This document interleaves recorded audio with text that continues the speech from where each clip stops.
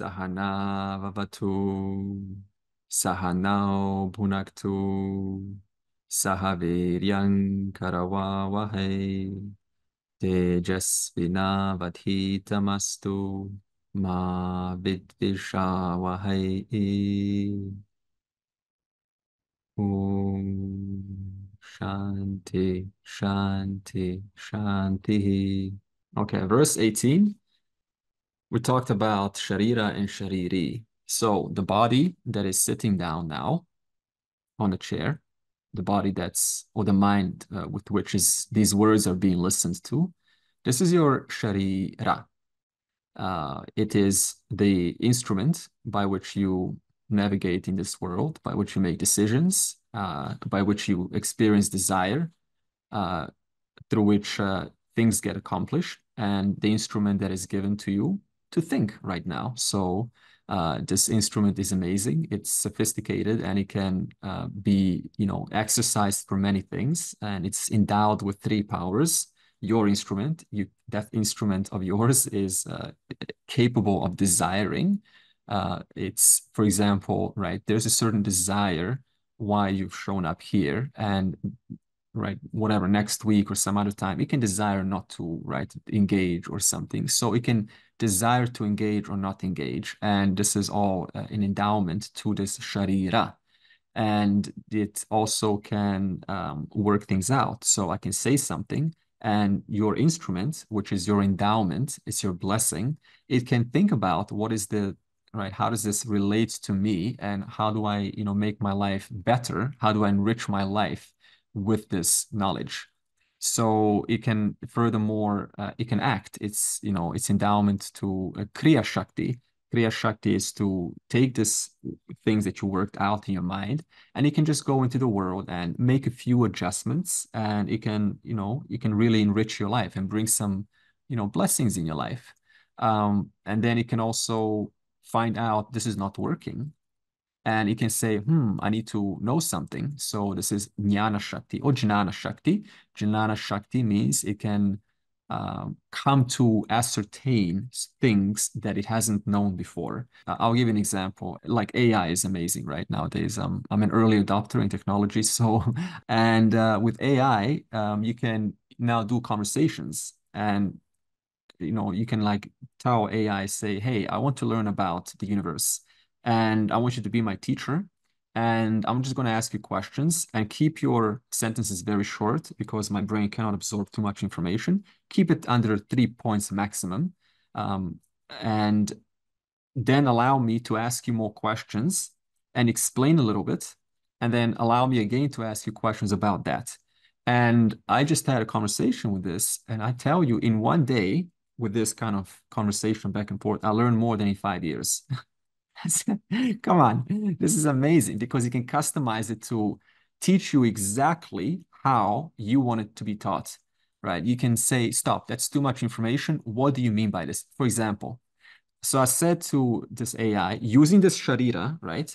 I said, hey, how does a virus work? Like, what happens? We just get sick and we go to the doctor. Do you even know what happens when a virus takes place? We don't, right? We, we, we, we don't. Like 40, 50 years later, we don't know.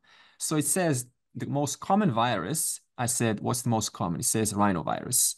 Okay, so just imagine a big rhino. So imagine a big rhino. And I said, well, how does rhinovirus work? Well, it attaches to the inlining of your nose.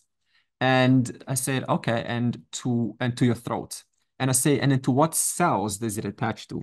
And it says ep ep epithelial cells. Oh, okay. So what's an epithelial cell? Well, an epithelial cell is like any other cell. It has a, a, a you know a nucleus and a mitochondria.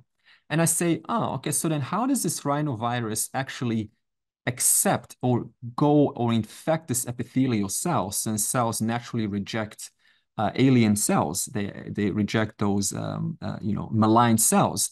And it says, well, the rhinovirus has a protein that tricks the epithelial cells, which are on the lining of your inner nose. And the epithelial cells think, oh, this is good stuff for me. I want some of this. And so the epithelial cells sucks in this rhinovirus. And I says, okay, wait a minute, this is too much information already for me. What happens next? What happens next? And he says, well, the, the rhinovirus is like a genetic code. all it has is genetic code called uh, mRNA. And this genetic code is like, whoa, what is genetic code now? And he says, just think of it as just like binary digits. And I said, well, how does this now replicate into a virus? Well, this genetic code lands onto the mitochondria, uh, not the mitochondria, to the ribosome. And I said, whoa, what is a ribosome? Ribosome is that which manufactures proteins. So I said, so when this DNA, is when this uh, uh, uh, this um, uh, um, uh, uh, mRNA lands onto the ribosome, you're saying that this ribosome, which produces protein, will now produce another virus? Exactly. And I said, how does this happen? It says, ah, easy. So this ribosome will take the amino acids. Oh, stop. What is an amino acid? Amino acid is the stuff from which a protein is made. Ah, continue. And it says it takes amino acids. Stop. How many amino acids are inside the cell? 20. And it takes one of these 20 amino acids. And I said, well, before you continue, are you telling me that every single cell in the world has 20 amino acids? Yes. You're saying that every living organism, including a species of fish and ant and spider and germ and body and monkey, and tiger all has 20 amino acids? Yes. Wow, this is amazing. So this means every living being in the universe has 20 amino acids inside its cells. And from these 20 amino acids, you take a combination, maybe amino acid 1 and 5 and 3, and you bring it into the ribosome and you make a protein according to that rhinovirus. And then what happens when the rhinovirus is now made? Well, it bursts out of the cell. And does the cell die afterwards? Yes, it does. And is this why we feel tired? Yes, we do. Why do we feel tired? Because the, your cells have died and your cells produce energy for your body. And those cells are now being destroyed by creating these new cells. So you just keep on going and going and going. I tell you, this is everything I said to you, I remember 100%. Why? Because I customized it to talk my language. 20 amino acids, epithelial cells, rhinovirus, this is just one topic. And then I talked about space. How does the creation of the universe happen? Oh my God, this is a one hour conversation we had. Everything word for word, I remember. So how is all this done? Through your sharira. Your sharira has amazing capacity if you just align it, tune it to work according to how it's made. Because you may listen somebody else may need to see, somebody else needs to work things out. But we all have our own private ways of learning and digesting and understanding. And therefore, it is the duty of the Sharira to discover its own ways of assimilating data. And this blew me away, I tell you. I thought, my God, I've got all these books on my shelf and they're all about space, astronomy, biology but I haven't like read any of them. And this is kind of how it is for us. We just shelves, right? Full of books. And then you just engage in this conversation and you learn, right? You learn in one day or five days more than you learn in five years. How did this take place? I enacted my power to desire. And then my power, my my my my ichha shakti, it's also endowed to you. I enacted my power to do my Kriya Shakti. I actually did something. I enacted my power to, to, to know. And therefore, these powers put together in a way that works for you can do wonders. And with this exact same Sharira, you can attain moksha. Gary? No question. Does it ever make mistakes? It uh, you have to be very specific in your prompts and you right you know use some common sense and listen carefully and ask questions um, and usually I'll say things like, according to all of the knowledge in the world of biology and um, psychology or whatever, right? Um, having read all of the technical papers and having taught, you know, students yourself, and always thinking step by step, um, what is the answer? So I will tell it slowly how to think. So rather than just being general, be very specific. In that case, you reduce the amount of hallucinations.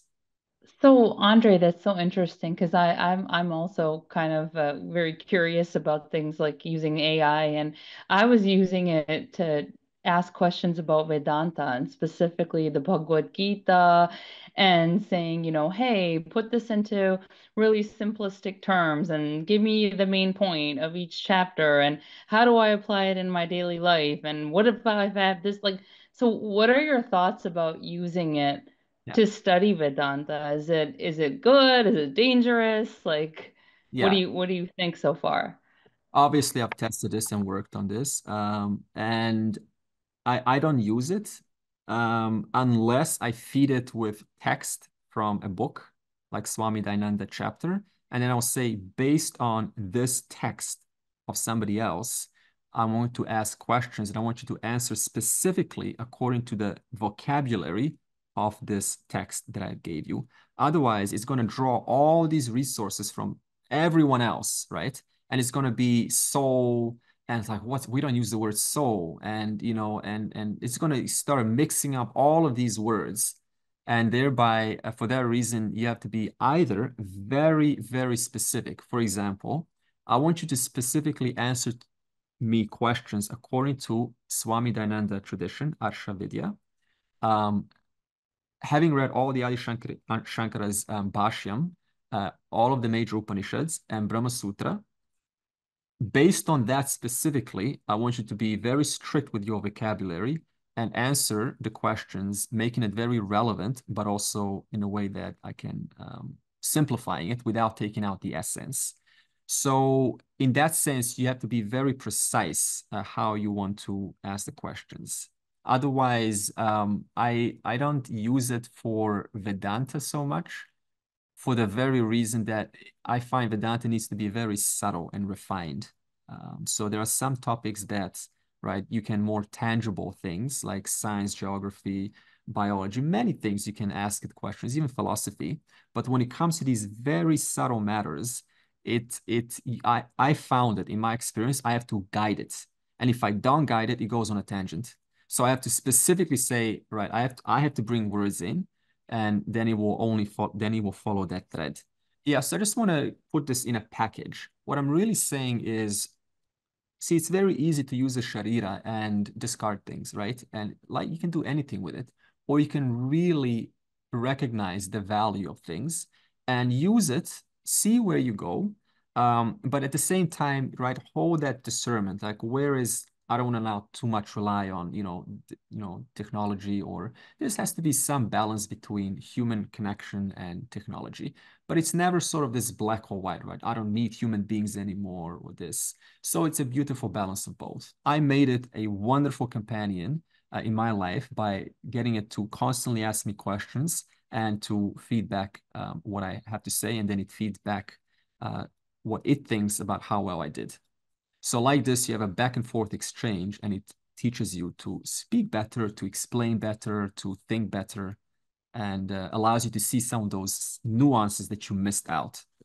My question is, I'm a little bit uh, off tangent. So my, I, I was just wondering, um, is it possible that a brain can produce or generate somehow uh, mind and not not not the consciousness. I mean that's entirely different, but mind because uh, as the brain develops, uh, mind also develops, right? Because mind is when, you're born, mind is not fully developed, and as your brain is developing, so does the mind. So what would be that logic we can use to say, hey, brain doesn't uh, somehow generate mind? Which is both are matter, one subtle and one gross, and Yeah. consciousness being different. The mind doesn't really develop. The mind's just waiting for the brain to develop. So because you've been carrying this mind with you for a long time, and this mind just waits for the host body, for your brain to develop enough so that the mind can fully start to operate. So this means that this is why um, uh, you know a child doesn't have their strong sense of I sense. It's not like the mind doesn't have the I sense. You've been carrying the I sense uh, for you know since beginningless time, and this I sense when it uh, finally has proper physical physicality to express itself through, then the individual is able to kind of say more, I am this individual and it's different from the world over there.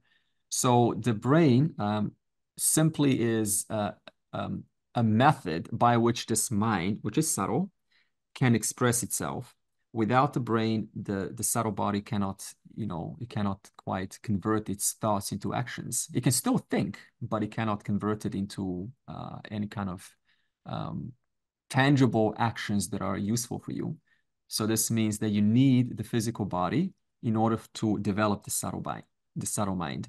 The subtle mind has thoughts, has desires. How is it going to express that without a physical brain? Because the physical brain is required for arms to move, right? Now, if I But don't isn't if I don't have arms to move, then right, I cannot quite go into the world and and work things out and therefore help my subtle body, my mind. But isn't uh, subtle body all different types of thought form, including uh, the I sense, and then as, as with your experiences uh, and perceptions uh, through your sense organs, you develop more and more thought forms, which means you're developing your mind as well, which is the subtle body. Correct. So as I said, the subtle body by inherit by coming inside by penetrating the brain, it is able to change because right there's a body mind connection. So if I give you a, um, a physical pill that affects the brain, the dopamine, and affects the physical brain, it will in some sense affect your thoughts too. So there is definitely a body mind connection because after all, they are sharing the same order of reality, which is matter. The only difference is that your physical brain is is is um uh, uh, physical matter, and your uh, your mind is your uh, subtle matter. In fact, uh, it's very interesting now. You reminded me. I was asking, uh, you know, what's the brain made of, and it's you know, it was talking about basically, right? We can't go into too much details. Just basic neurons, and uh, and these neurons, right? Just a whole bunch of neurons. About what is it? About fifty percent of your brain is just neurons, and then you say, what is a neuron made of? And it's made of atoms. Now, where is a thought inside an atom? Atoms don't have thoughts because the atoms that made that rock outside your door is the very same atoms that make up your neurons, which are by their connection, they produce thoughts, right? Not that they produce, they allow thoughts to operate through them. Look at this. So this means you cannot find anywhere in any one of your neurons, if you cannot find a thought or an emotion in one single neuron of your brain, and your brain is made up of billions, trillions of neurons just like that, then which neuron will you find a thought? You won't find a thought in any neuron because a neuron is just an atom. Atoms are just electrons, particles. So this means there is a different kind of matter. And this matter, which we call your mind, desire, where are you going to find a desire inside a neuron? Go on, try and find a desire. What is a desire? What is it going to look like? What is a desire when you find it inside a neuron going to look like? It's not going to look like anything because the only thing you're going to find is just more atoms, right? So this means body mind connection. The mind requires the physical brain, a bunch of atoms to work through and express your, your life and make you enrich your life and discover your true nature. That that which actually illumines this this subtle body, this this thinker, this desirer, this wanter, this uh, this you know doer, uh, this killer. We said hantaram last week. That which illumines, lights up this sense of uh, this individual is this uh, ever present, ever awareful uh, I, Atma. Thank you. Now, one more thing I want to bring up is that, see, in Vedanta, a common mistake that gets made is that when a person says, you know, Atma is the observer, the most common mistake is that the person takes their I sense, the ahamkara, to be the observer. This is very common in therapy, like um, ACT or acceptance commitment therapy. It's just a form of therapy where you basically what you do is you tell to your patient, uh, just witness your thoughts, look at your thoughts passing by. And the, pa- and the patient's like, yeah, this is wonderful, right? I'm looking at my thoughts. Now, the reason why psychology does this is it's useful. It has its use. It has it's got its application to like look at the the thoughts, the painful thoughts, which are very hard to manage sometimes, just to look at them like waves in the ocean, right? They're just crashing. They're passing by. New waves are coming. You don't go over there and try to stop the waves or try to break the waves. You just look at the waves and you say, that is the nature of thoughts. The nature of thoughts is to come, manifest, to crash. Another wave comes. And then the, the therapist will tell you, just look at that whole phenomena going on. And then just, you know, look at it and go recognize that's the nature of the mind. Now, the person would then go, ah, so this observer, right? Me, the, the present, the conscious observer, am now looking at my thoughts. Therefore, who am I? I am that conscious observer. But what is the conscious observer referring to? It's actually referring to the I sense. It's referring to the ahamkara, to the ego. So there is an individual, right, who is uh, looking at their thoughts the ego, the ahamkara is looking at their thoughts. And I think now I am that final reality. So what happened here? False attribution. In other words, I mistook Atma as just one more component of the mind. So how to now kind of get out of this mistake? How to understand this? The wise person understands that, yes, there is an observer, okay? You can observe you and okay how about we do a little exercise just quickly before i move on okay let's take a breath right now and i want you to remember as much as you can about what happened yesterday and just look at those images in your mind about what happened yesterday conversation with someone with something you did and observe that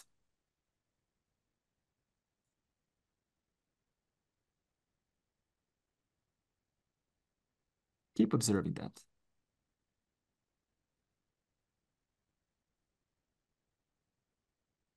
Good. Now, the observer, you can stop observing. The observer is called the ahamkara. Whoever was observing that, that's called the ahamkara. That which enables the observation to take place is Atma. The presence in whom that observer was taking place is consciousness, which is your final truth. Where is that observer now? That observer is still here looking at this video. Now, that observer, we call the relative observer, right? Now, if something happens, something terrible happens, that observer will be affected, right? So suppose someone next to you, close to you, dies, and that's very painful.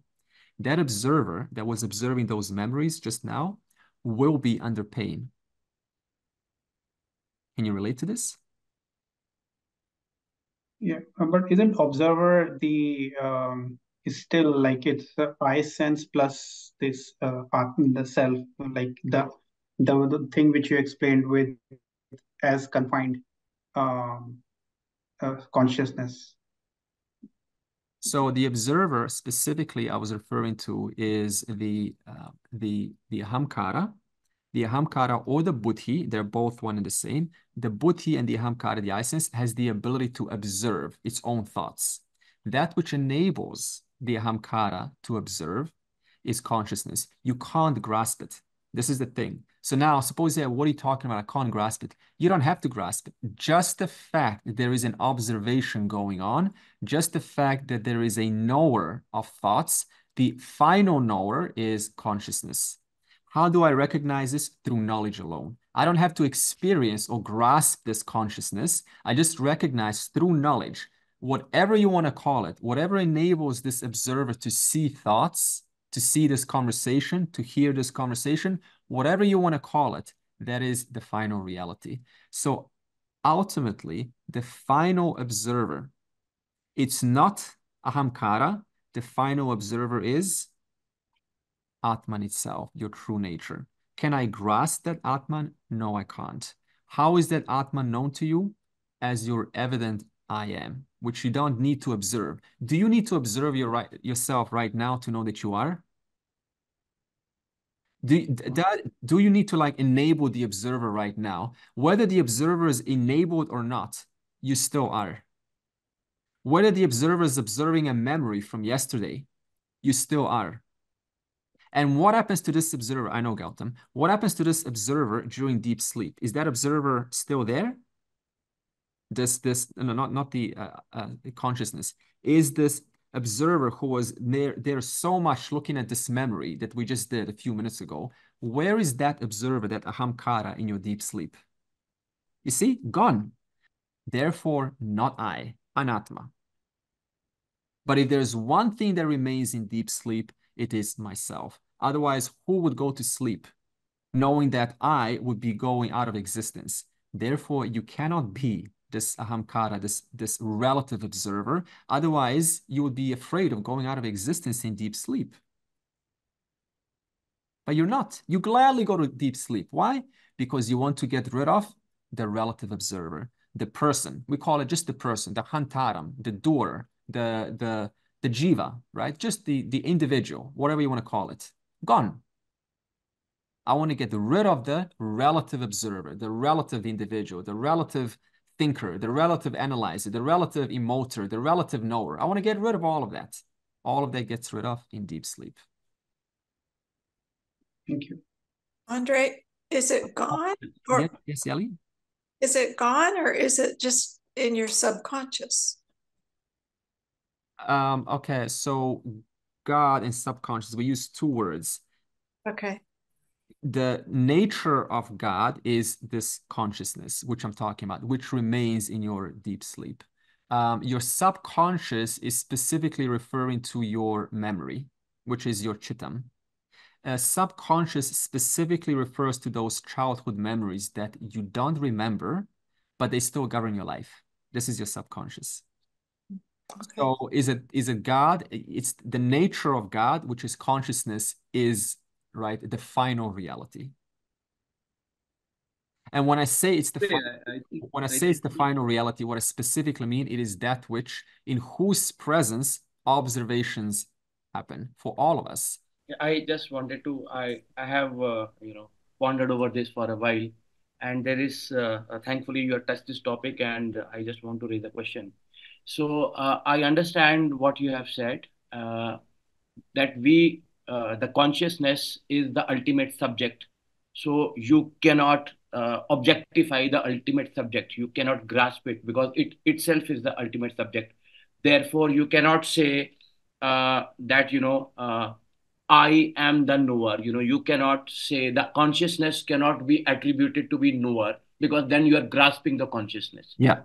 That's what you're saying. Yeah. So therefore, in this context, I wanted to ask the neti neti prakriya finally tells you that you know what is observing, what has been left out is anatma, and now what is left, the knower, is the atma. So is there a conflict between what the neti neti prakriya is saying and what you have just said? Is there a con- conflict between this?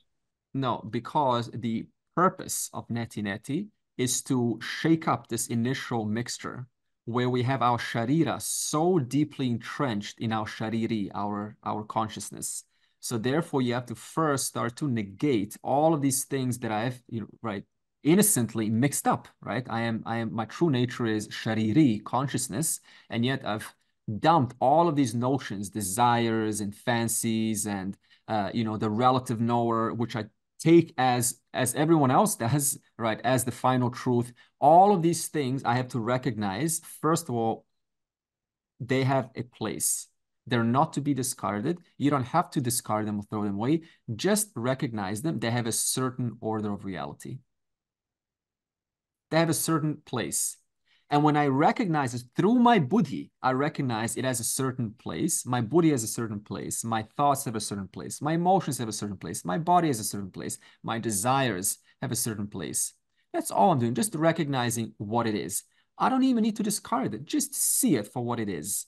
The presence in whom all of these things, these things that I mentioned, are taking place and molding and shaping and going through desires and fancies and likes and dislikes and pain and joys and worries and concerns and aspirations and falling in love and fall, falling out of love and then again worried and then a whole cycle just repeats a mixture of a thousand different changes happening throughout your entire life. All of this has a place. This is what we call the sharira the body the one in whose presence these changes are occurring is my true nature consciousness. In other words, you can never have a change that is observed to be taking place unless there is a changeless principle, a changeless consciousness. It's just logic. You can't recognize changes unless there's something about you which is not changing. So, uh, I, can I elaborate, uh, request you to elaborate a little further because it's very confusing for me for so long.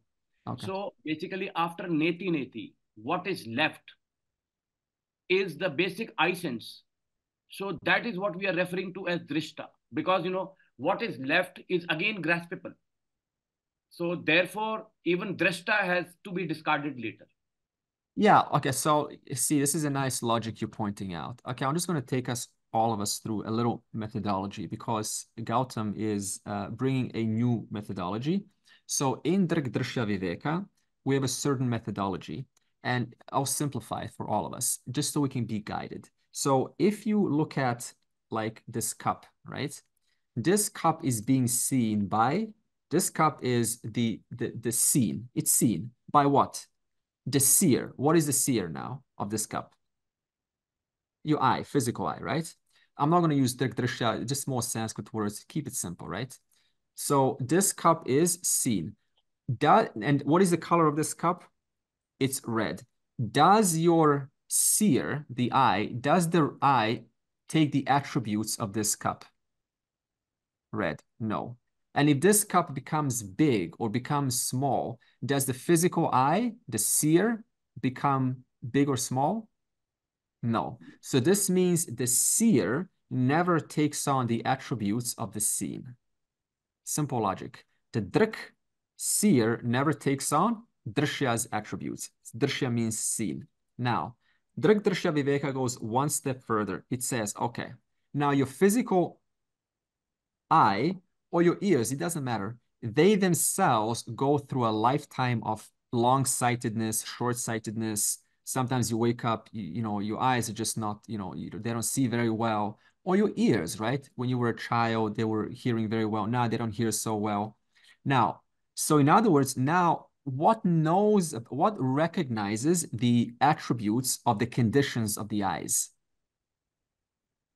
The mind. Understand so far? Now when the eyes become blind does the mind become blind when the eyes have long, like, you know, see very well, suppose in the morning, and they're very sharp, is your mind necessarily sharp? No. So this means, again, now the eyes become the drishya, the seen, and the mind becomes the drik, the seer. So same logic. The seer never takes on the attributes of the seen. In other words, the seer eye never takes on the attributes of the seen cup. The seer mind never takes on the attributes of the seen senses. And then this is where we most stop. This is where we all stop. Oh, so the mind is the final reality. And then Drik Drishya Viveka brings the final. And it says, now, same logic. Your mind goes through states of knowership. It knows itself to be in the morning, oh, I'm, I'm a loser. Look at this. Ahamkara is now a loser. Tomorrow, you get a promotion. Ah, oh, I'm a winner.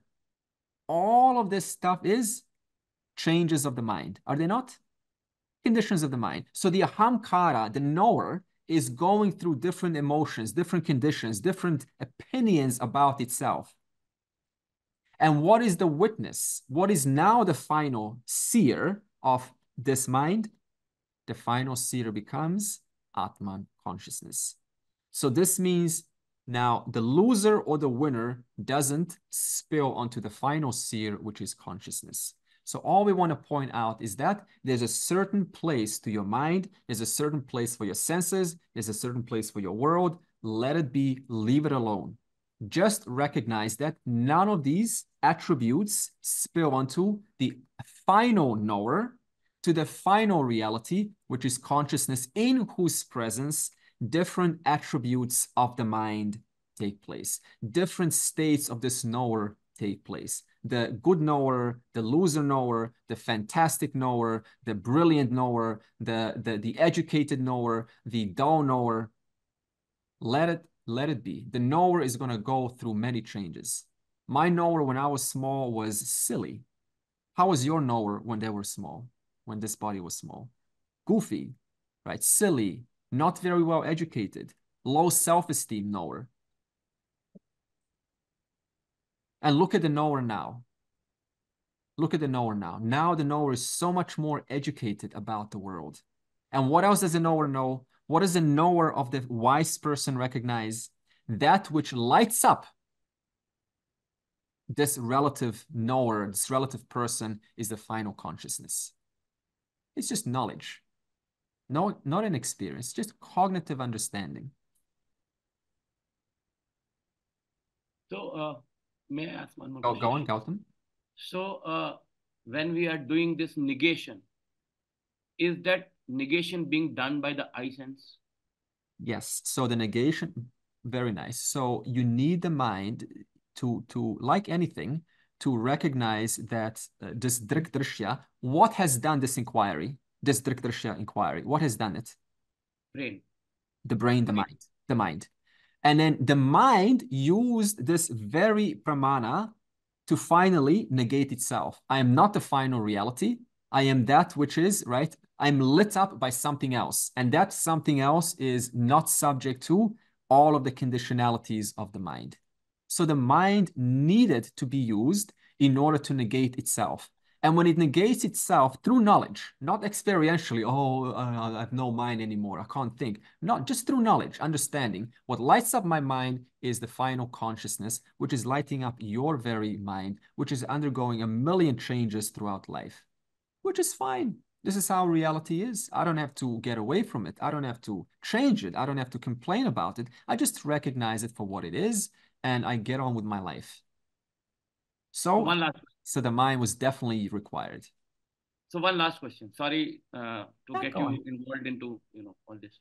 Mhm. So, uh, therefore, we do we make a distinction between I, the knower, and the final knower? Is it okay to say like this? Yes, yes. So the so in other words, this is the final discrimination, uh, which is cognitive in nature, right? The knower, as I said, Gautam, goes through changes in their life. The relative knower, right? I, the relative knower, it goes through changes. As I said, your small knower, how was your small knower, right? Many years ago, it was not so confident. It was not so right, so kind of up you know, whatever. It was different. Now you know, right? Your person, your Gautam person, the knower Gautam, the person is very different in nature, very different, different desires, different, right? Different ideas, different aspirations. All of that is just the mind. But there's one presence in whose presence this mind is uh, changing, molding, sculpting, going through things, uh, coming out of its, uh, you know, its, you know, self-imposed limitations. So this means your very mind finally releases you from your mind. Your very Um, mind releases you from your mind, and it recognizes that you were never under the spell of this mind. You were never under the spell of this mind.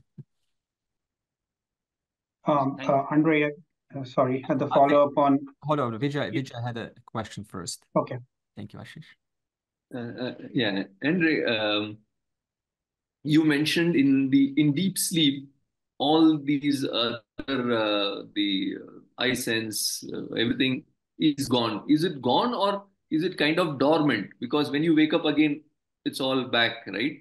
Sure. Uh, that's one. And in deep sleep, uh, I think from what you just said, deep sleep, we don't, we feel very good because there are no objects, no objects, no mind, nothing. And um, that final knower, the consciousness, when you really wake up, maybe enlightenment or whatever you call, in that state also, is it like um, you see everything, but there are no objects, kind of state? State of deep sleep is the state of real enlightenment. Um, okay. So I think it was a two-part question. First of all, whether you call it gone or temporarily resolved, it's just not there. That's the idea. It's not there. It's not, it's not functional. It's because there's no object, so there's no, there's nothing to see.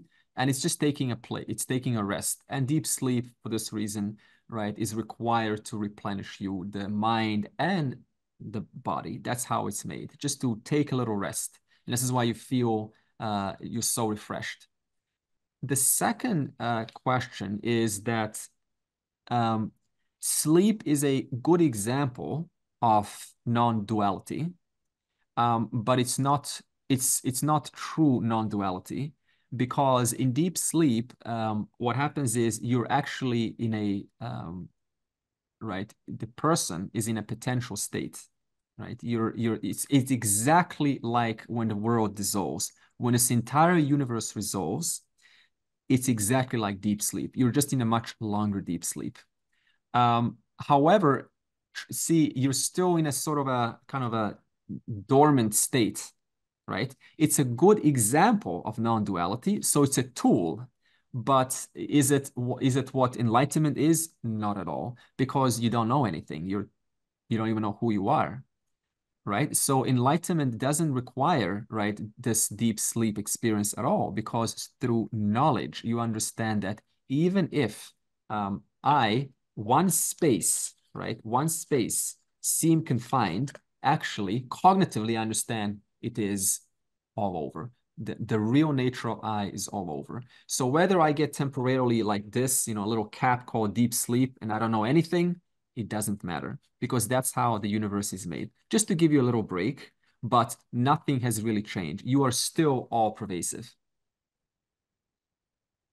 Okay, so this means that, um, right, the, the, the wise person the reason why I keep saying it's not an experience, because look at this, all pervading space, right? We're using our comparison is like Atma, consciousness. The space right now here and here, look at this, it's the same space. What happened? What's the only difference?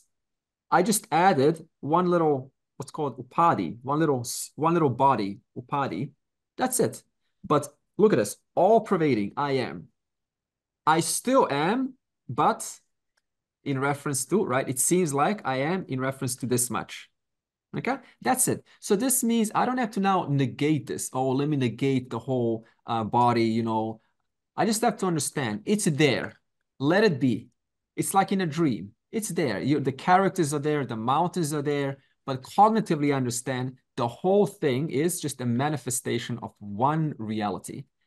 So even this little party is made of the same substance as is the entire universe, as is the as is consciousness. So imagine it like this. Consciousness is like this space, right? And this cup is also made out of same space. I know it's a little bit funny logic, but it's also made out of space, right? So not only is everything space, but this is also space. But this space we call body. In other words, right, it's manifesting like a body.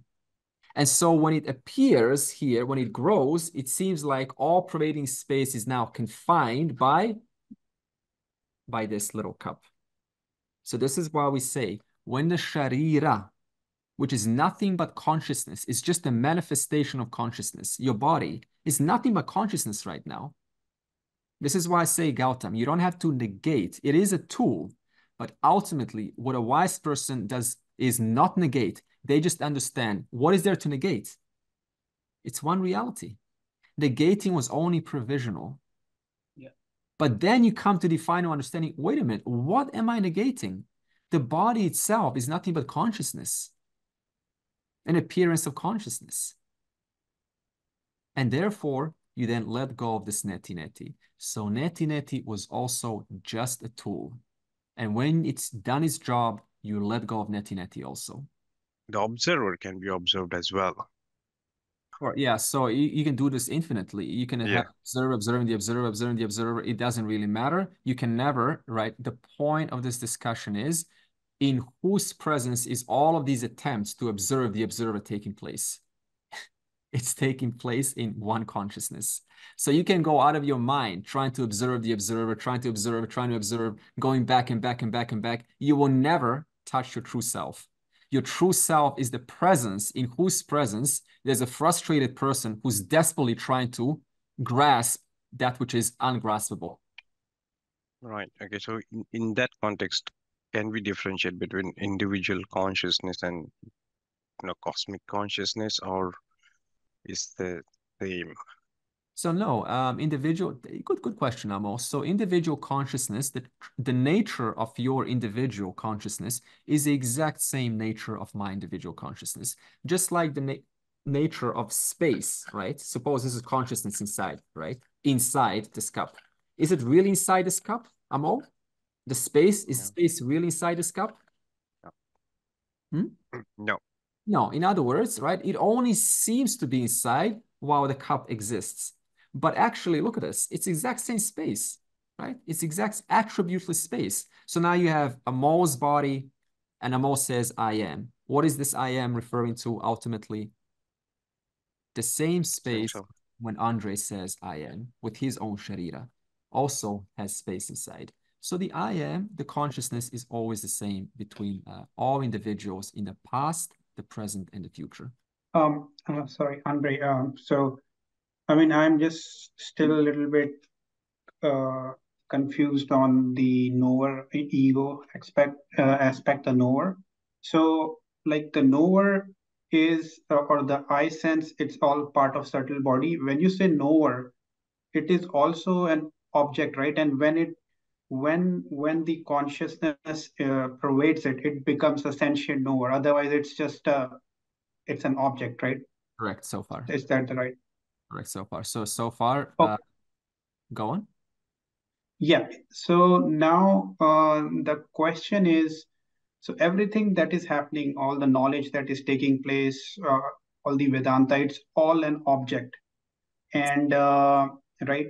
And the when we say final seer or the final knower, which you were talking about, the final knower, you are referring to the consciousness, consciousness, but that consciousness itself, it it doesn't, it just uh, as far as I understand, it just helps you. It's like an electricity which is helping you to experience, uh, helping mind to experience, but the consciousness itself is not experiencing anything. It's just enabling you to experience, right? Then we cannot say that it's a knower. We can just say that um, that consciousness is um, helping you to know stuff, isn't it? Yeah, it's a good analogy, and I'm I'm with you. Um, so it, it's it's so consciousness is right. It's just an awareful Right. being, right? Right now, you're awareful, innocently, you're helplessly aware. Do you need to do anything to be aware right now, Ashish? No. But look at this. Suppose I say to you, listen, everyone. Um, what is 30, what, what is nine times uh 20? Something easy. Nine times eight. Oh, thinking, thinking. Oh, effort. Look at this effort, right? And whatever the number is, doesn't matter. It's, you know, nine times eight, 72, right? So, but suppose I give you something more complex and you're like, it's effort. It's really effort. It's effort to breathe. It's effort to think. It's effort to recall. It's effort to eat. It's effort to walk. It's effort to, how long can you remain happy? You know, have you ever heard those times where you're just happy for too long and you're just like tired of being happy? Like, you know, you're just so overjoyed. You're like, okay, let me just get back to my peaceful mode, right? Or laughing so much and you just say, oh, too much. I've been laughing too much. I just want to get go back to my normal peaceful mode. Everything's effort. Even staying happy is an effort. But how much effort is it just to be conscious? You see, it's the most effortless thing because it is you. Because you are that very awareness, it's the most innocent, most ordinary, most effortless thing. Everything else is very hard in con contrast. And then in, one last question. I'm sorry. So in so if we take all this into context, then all the Vedanta knowledge, moksha is happening at the empirical level. But if you go one level above it, there's nothing. Like it's just existence, and everything in that sense is mithya, isn't it? Like it's all forms and objects, and even our mind is object, and we're trying to grasp a knowledge which is an object through an object, but existent consciousness is it's taking place in existence consciousness. So everything, even moksha, is in, in that sense, in that sense, empirical and and a kind of like uh, I would s- related like a mithya.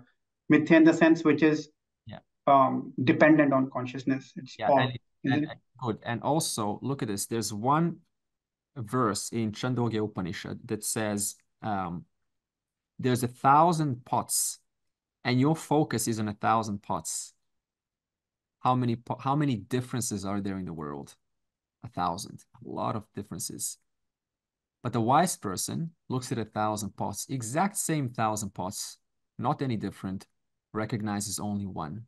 What's wrong with you? There's a thousand pots. No, there's only one. There's only one substance, one substance which is uh, appearing as a thousand different pots. So this means what has the wise person recognized? Have they gotten rid of the thousand pots? Have they gotten rid of their thoughts? Have they gotten rid of their mind?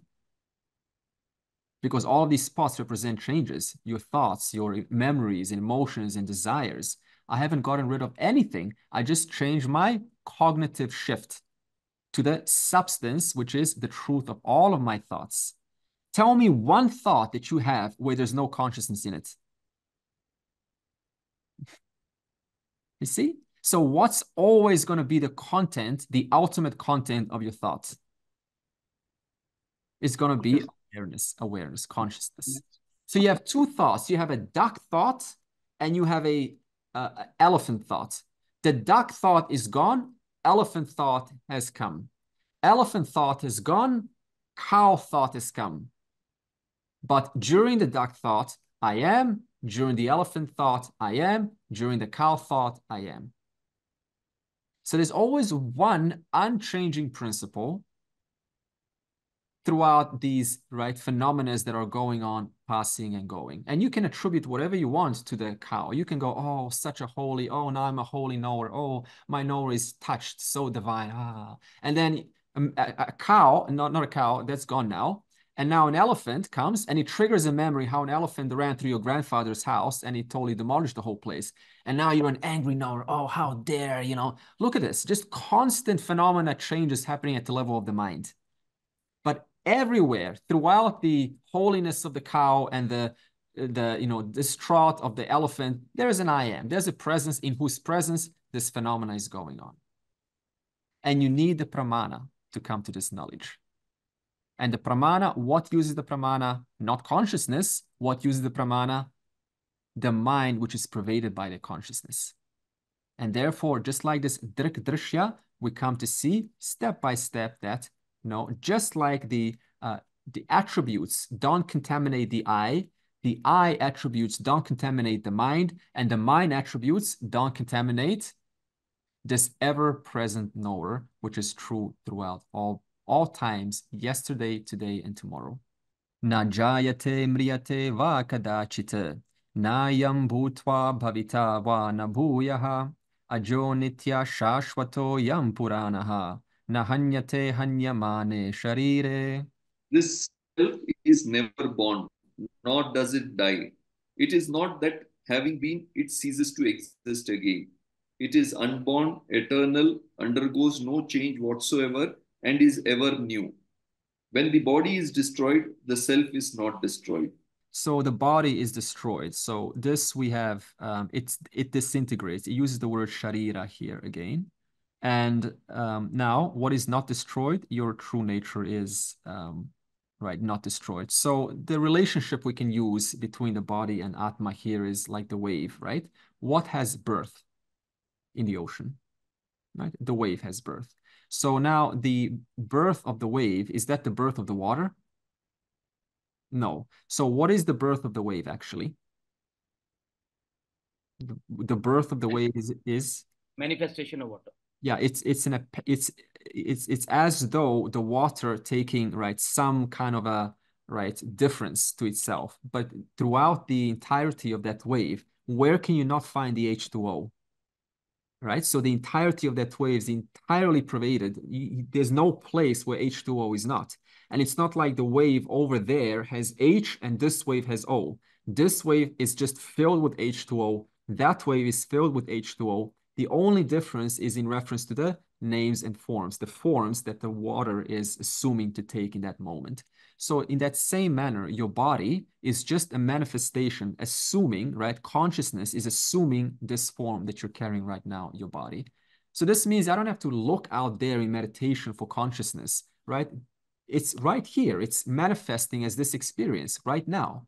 So in this sense, right, there is one order of this reality, which is changing, which is disintegrating, which is going through and supposed to go through uh, evolution, and that is your body, whereas the content of the, the body, which is um, uh, like this water, which is consciousness. Now, then it says, who are you, therefore? If you are not this changing, disintegrating wave that's coming and crashing and changing forms, uh, who are you? You are Atma. That means it is that which doesn't undergo the modifications of the body. And how many modifications are there, if you remember? Six. Six. Six. So it's Six. asti, right? Fetus, jayate, born, vartate, grows. Uh, um, what's the next one? Viparina mate, right? Viparina mate. I think it's um, maturity, apakshiyate, which is right. You start to decline, and then vinashati, you die. So this is the nature of the body, and none of these six ever pass on to you, Atma. And therefore, who are you? You are not Jayate Mriyate. You are that which doesn't come and go. Um, and what is the nature of this you, Atma? It is the nature of existence, Sat, which is of the nature of consciousness, uh, which is not divisible, it is not dividable. It's not like your consciousness is there and my consciousness is here. It's one all-pervasive consciousness. Therefore, it is what kind of an existence, a wherefore reality? It is uh, anantam. It is non-divisible. It is therefore everywhere. Non-divisible anantam just means right. It's all-pervasive. Nothing, nothing limits it. When you limit something, it's not anantam. When it's not limited, then it's anantam. Okay. Therefore, and what is the and in the presence of this atma, which is of the nature of existence and awareness, what does it do? It enables this person, this this person, your name, to recognize the changes that are happening not only to the person but also to the world. So whatever is enabling the knowership, the knowing to take place, the changes that are to be going on. Whatever is enabling that to take place, to be recognized is your final truth, is your final nature. Okay. And both the world, right, and your body is what's the word for it, if you remember? Starts with M. Mithya. Mithya. This means it's dependent. So what is the relationship between uh, you and your body that you are carrying right now between the sharira and the shariri is a satya mithya relationship. So this means there's no place, right? Um, your body is like this cup. There's no place throughout this cup where, uh, or this pot where the clay is not. And this pot is what enables, is what ultimately recognizes that changes are happening to this pot. So the ultimate knower of the changes of the spot becomes, in this case, the clay. The ultimate knower that recognizes changes happening in reference to your body and your mind, which is nothing but consciousness itself, is uh, is consciousness itself. Okay, so therefore, there's not two things here. It's not like mithya is one thing and satyam, the clay, is another thing. It's one and the same reality looked at from two different standpoints. Okay. Therefore, the content of your entire being, of your entire body becomes satyam. Um, and and why is your body mithya? Why is the world mithya? This is a question for you. What makes the body mithya? What qualifies it to be mithya? Ever changing. It depends. It depends on the uh, consciousness, uh, because of which is able to. Good. Good. Um, ever changing? Ever changing. And what do we say about mithya? It is dependent reality. And it is reducible. Yeah. Knowledge concept. Yeah, it is good. Excellent. So, in other words, show me one part of your body that is not reducible. right now. Look at any part of your physical body that's not reducible. Can't find it. So it reduces, your physical body reduces ultimately to the smallest, this is just science, to the smallest particles, to, you know, to quarks. And then Vedanta takes over and it says that you cannot find the final building block because even if you reduce that quark to, you can in, reduce it infinite amount of times you will still not come to the final building block of the universe. So now you need Vedanta to take over and say the final block of the the final building block of the universe is concepts. That means uh, you cannot see a concept, but you can only see its effects. You can't see intelligence, you can only see the effects of intelligence. And what are the effects of intelligence? Particles, atoms, molecules, silica, pot, uh, clay, pot. Okay. Therefore, every form in this universe, you apply this to your body, you apply this to anything in this world, you will ultimately reduce it into particles. And particles themselves are intelligently put together. Therefore, they're not random. They're intelligently put together to create the next level of assembly until you have the smallest, like an atom, going into a seed and then a seed itself, where is intelligence? Can you see this intelligence inside a seed? No. But what can you see when that seed grows? You can see effects of the intelligence that was inside that seed. You understand? Therefore, you cannot see intelligence. You can only see the byproducts of intelligence. And how do those byproducts manifest as the world that you see, that I see, that we experience? And therefore, everything in the universe, including your thoughts, mind you, because what's the difference between a rock and your subtle body? Last week, someone asked, you know, this is easy in reference to physical forms, but what about our thoughts? Same thing. Your thoughts are also made out of matter, just subtler matter, more flexible matter. Matter is able to mold and shape, kind of like dream matter. It's also same thing, just concepts concepts reduce ultimately to concepts. And what is the content of concepts? Vedanta says it is consciousness, which is known to you right now as effortless amness. All right. So in this sense, the whole world, including physical and subtle matter, reduces into intelligence or concepts, and concepts themselves have no reality without their final uh, being, their final existence, which is satinchit, existence awareness, which is un, which is not limited. It is infinite. Therefore, nothing limits existence awareness because the whole thing is existence awareness. Therefore, it is anantam. It is limitless. I'm not going to ask a question now, uh, Amol. I just want to finish this. All right. Now, what else is um, the nature of Atma, it is Nityam.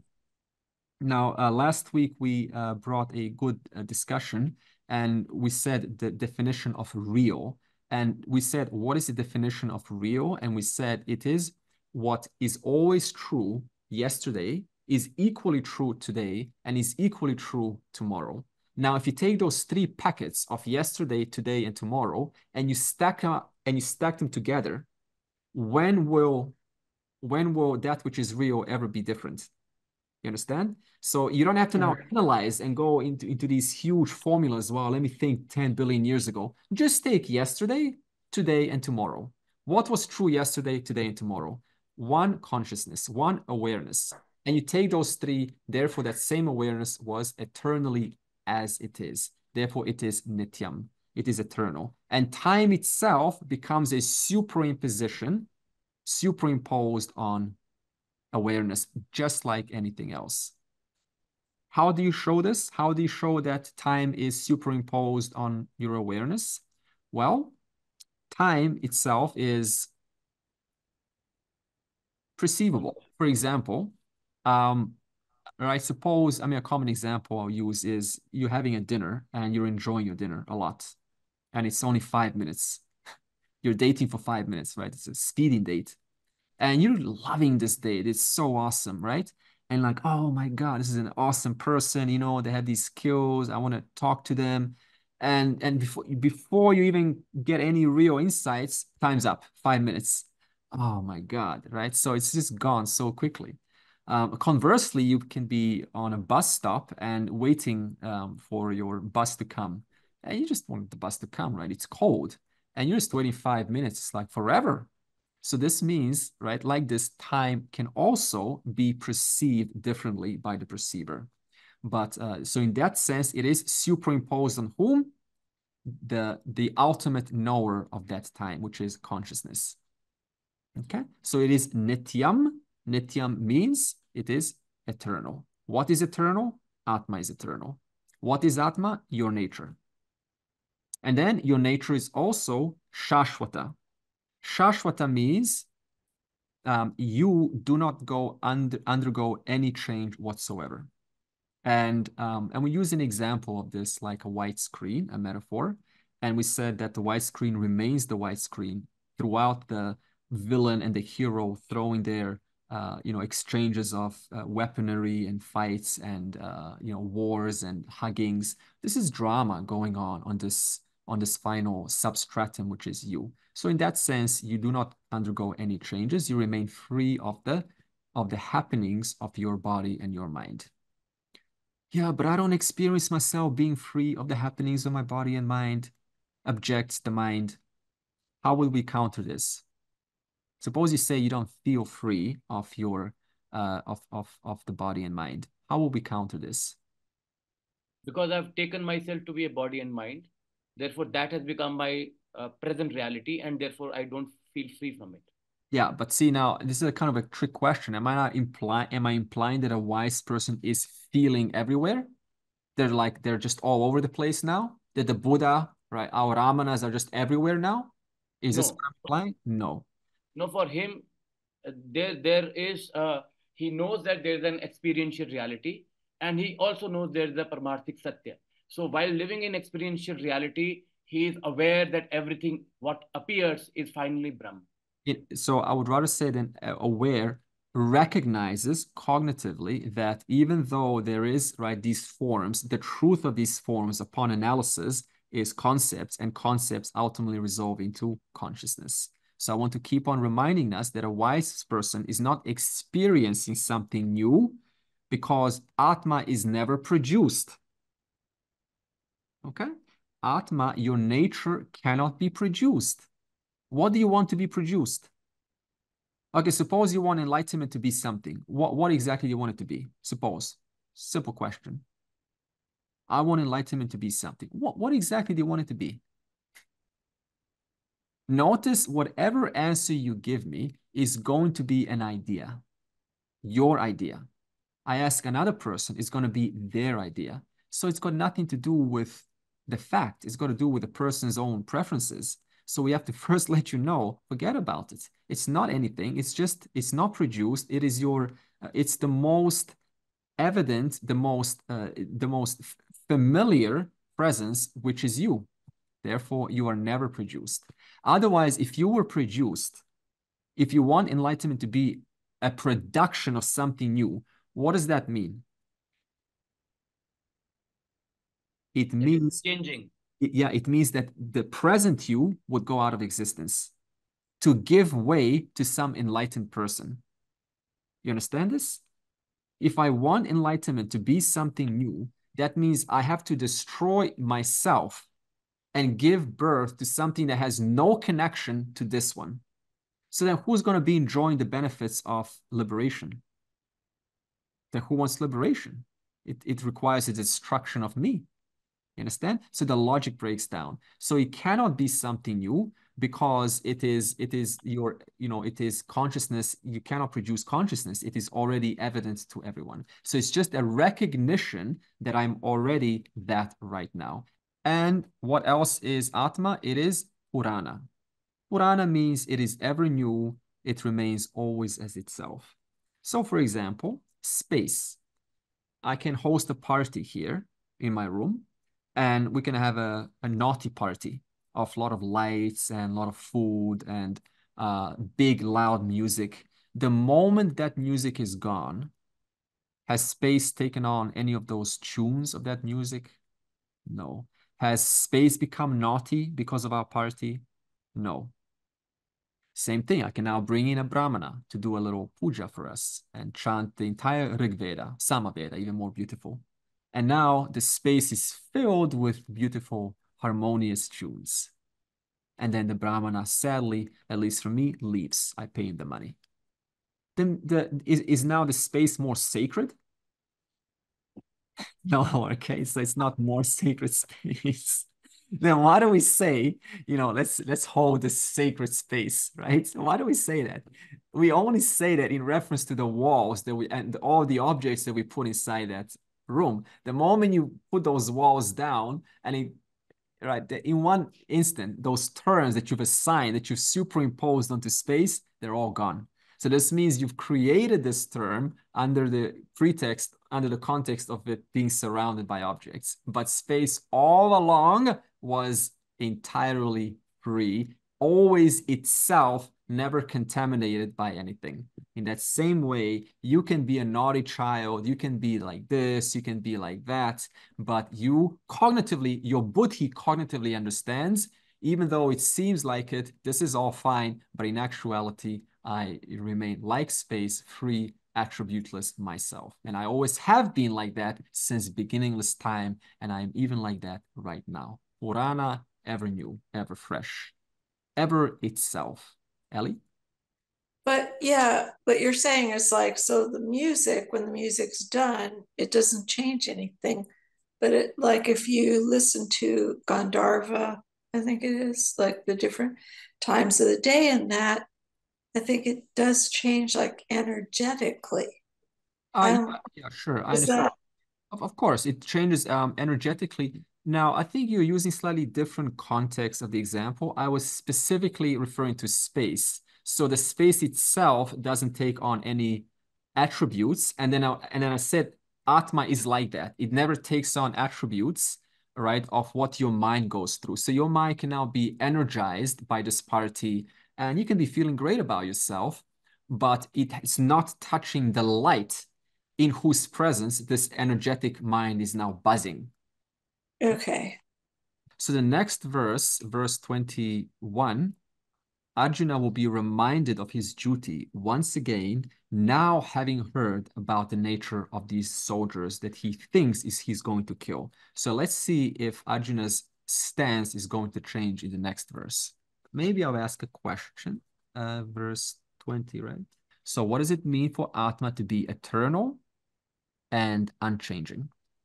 Uh, eternal means uh, present in all three periods of time.